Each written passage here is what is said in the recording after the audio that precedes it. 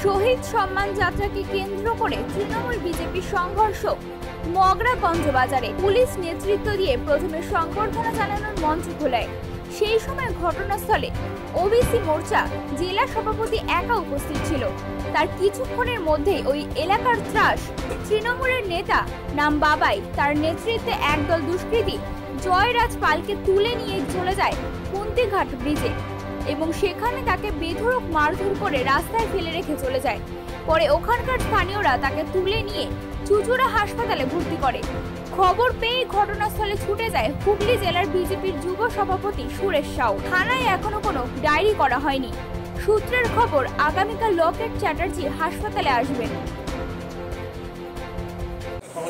আজকে সুভাষ সরকার মাননীয় তিনি আসছিলেন জেলা থেকে তার দায়িত্ব, মগরা ডিভিশনে আমাকে দেওয়া হয়েছিল এবং আমার সঙ্গে সন্দীপ সাধিকা সম্মাত্র সকাল থেকে ছিল। আমরা মঞ্চ ফঞ্চ সব বেঁধেছি।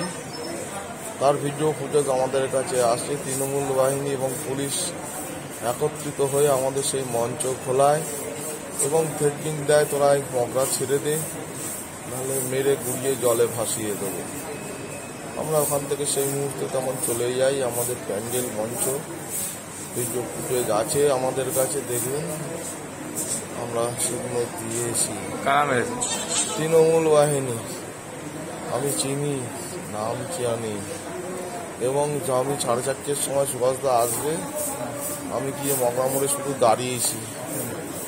ব্যাস দাঁড়ানো মাত্রই আমাকে তাড়া করে রিভলভারের বাট আর কি সব ছিল। কি বুবাই বুবাই। জুয়া চালায় সাতটা চালায়। রেগুলার মগনার মুখে জুয়া সাতটা ওর চলে। জুয়া সাতটা মাফিয়া তৃণমূলের ক্যাডার বাহিনী। ওর সঙ্গে বঙ্গ সঙ্গে। মুসলমানরাও ছিল। মুসলমান টুপি দেখেছি আমি। ফেটে গেছে ছিল।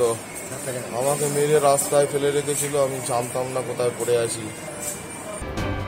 হুগলি থেকে পাপ্পু সাঁতরার রিপোর্ট টাইমস বাংলা।